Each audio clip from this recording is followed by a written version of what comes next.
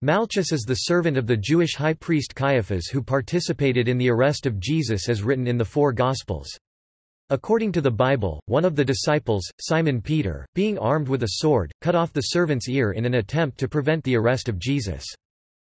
Simon cutting off Malchus' Ear is related in all four canonical Gospels, in Matthew chapter 26 verse 51, Mark chapter 14 verse 47, Luke chapter 22 verses 50 to 51, and John chapter 18 verses 10 to 11, but Simon and Malchus are named only in the Gospel of John.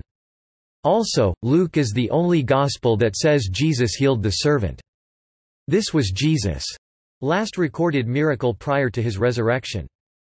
The relevant passage in the Gospel of John, KJV, reads, Although rejecting biblical inerrancy, James F. McGrath suggests that this account reflects an event that did happen, in that early Christians would hardly have invented a story portraying themselves as violent. Later in chapter 18, John records that a relative of Malchus witnessed Peter's assault in the Garden of Gethsemane, and identified Peter as a follower of Christ.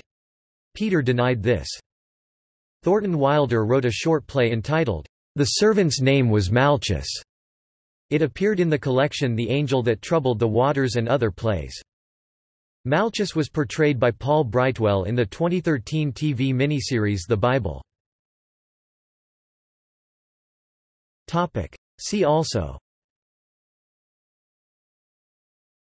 Topic Sword of St. Peter Topic Notes Topic. Topic. External links Topic. Herbermann, Charles, ed. 1913. Malchus. Catholic Encyclopedia. New York, Robert Appleton Company.